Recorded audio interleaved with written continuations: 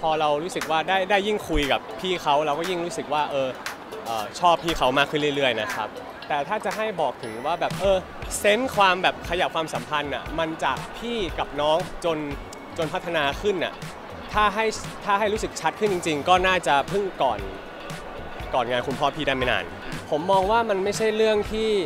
น่ากลัวอะไรนะครับ สุดท้ายไม่ว่าจะวัยไหนหรือหรือเพศไหนก็แล้วแต่มันมันไม่ใช่เรื่องผิดอะไร ถ้าเกิด ถ้าเกิดเราเข้าใจกัน ผมว่ามันก็โอเคแล้ว ถ้าเกิดวันไหนที่เราสองคนเลือกที่จะใช้คำว่าแฟนขึ้นมาเนี่ย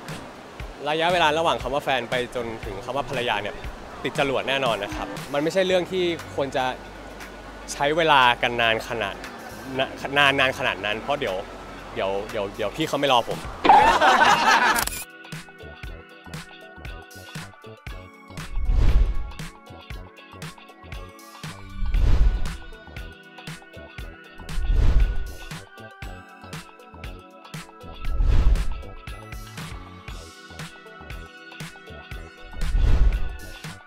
ครับผมคุยกับพี่แอฟอยู่ครับผม ครับออยู่ในขั้นไหนอะการศึกษาคุยกันเอ่อจริงๆเราคุยจริง ๆ หลังจากซีเอ่อซีรีส์ถ่ายจบเนี่ยเราก็มีคุยกันตามอ่าภาษาพี่น้องเรื่อยๆเนาะแต่ว่าพอเรารู้สึกว่าได้ได้ยิ่งคุยกับพี่เขาเราก็ยิ่งรู้สึกว่าเออเอ่อชอบพี่เขามากขึ้นเรื่อยๆนะครับแต่ถ้าจะให้บอกถึงว่าแบบเออเซนส์ความแบบขยับความสัมพันธ์อะมันจากพี่กับน้องจนจนพัฒนาขึ้นอะ ถ้าให้ถ้าให้รู้สึกชัดขึ้นจริง ๆ ก็น่าจะเพิ่งก่อนก่อนงานคุณพ่อพี่ได้ไม่นานนะครับก่อนได้ใช่ครับใช่ครับตอนตอนแรกๆเราเราหวั่นไหมที่จะเริ่มเริ่มต้นจีบเขาอะก็ก็คือแอปทักษะออนก็ก็หวันวันๆนิดหน่อยครับ ก็หวันวันๆนิดหน่อย แต่แต่เราก็เอ่อเราก็พยายามในในในแบบของเราเนาะครับผมได้ยังไงน้องนนท์ตอนที่เราก็เป็นเด็ก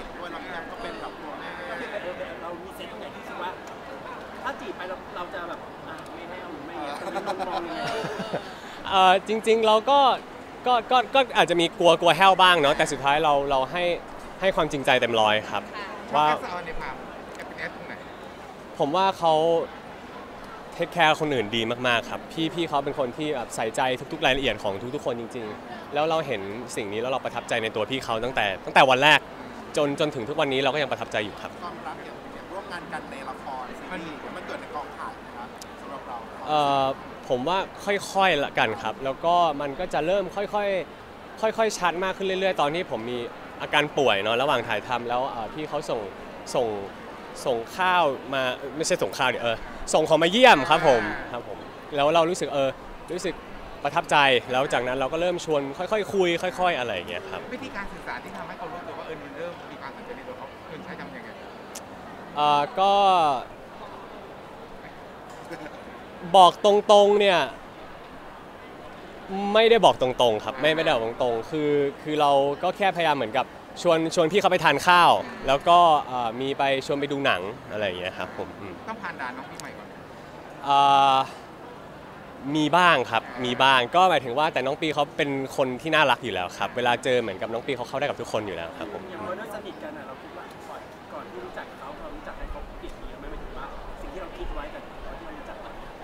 ณตอนนี้ยังยังยังไม่เปลี่ยนนะครับ เพราะว่าอย่างที่อย่างอย่างที่บอกบอกไปเมื่อกี้ความความสัมพันธ์มันเริ่มจะเอ่อชัดเจนทั้งทั้งสองคนตอบรับกันทั้งสองคนเพึ่งจากก่อนเอ่องานคุณพ่อได้ได้ได้ไม่นานครับผมมีบอกแน่นอนครับ มีบอกแน่นอนครับตอบเบาๆเลย ก็ก็ตอบก็ตอบตามความเป็นจริงครับตอบตามความคืเป็อนตจอริบงรับความรู้สึกใช่แต่ว่า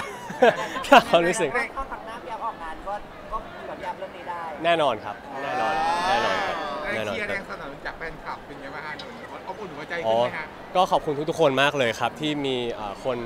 คอยเชียร์คอยสนับสนุนมากมากมายขนาดนี้นะครับ แล้วก็คือเราก็เป็นเหมือนกับคนธรรมดาธรรมดาทั้งคู่เนาะที่ที่ ที่ที่ก็ดีใจที่เหมือนกับว่าอย่างน้อยความความความชอบพอของเราสองคนมันทำให้ทุกๆคนยิ้มได้ครับผม อย่างอย่างเรื่องของความรักต่างวัยน้องนนท์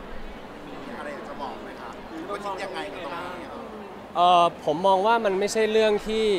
น่ากลัวอะไรนะครับสุดท้ายไม่ว่าจะวัยไหนหรือหรือเพศไหนก็แล้ว แต่มัน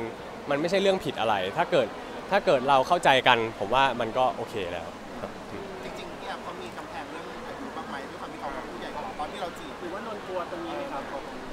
ตรงนี้ไหมตตัวผมก็ไม่แน่ใจเหมือนกัน วันวันแรกที่เราค่อยๆคคุย ค่อย ๆ พยายามชวนคุยอะไรอย่างเงี้ยครับแต่ว่าพอมาถึงวันนี้ณณวินาทีนี้ผมก็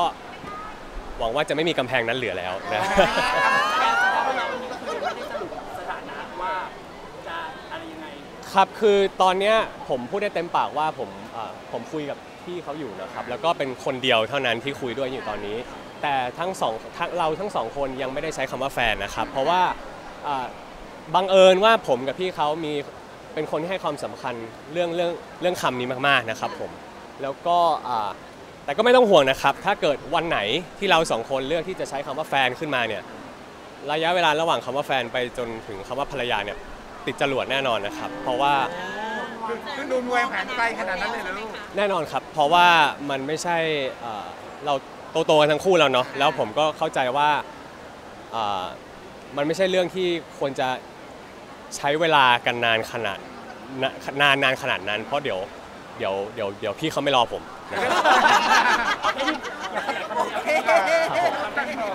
คือทั้งสองเรื่องนี้คุยกันแล้วใช่ไหมนุ่นวันที่จะขอเป็นแฟนวางแผนไว้ไหมว่าเราอยากจะทำอะไรบ้างอืมไม่ผมว่าไม่ไม่ไม่ยังไม่มีอะไรพิเศษนะครับคิดว่าจะให้มันเรียบง่ายที่สุด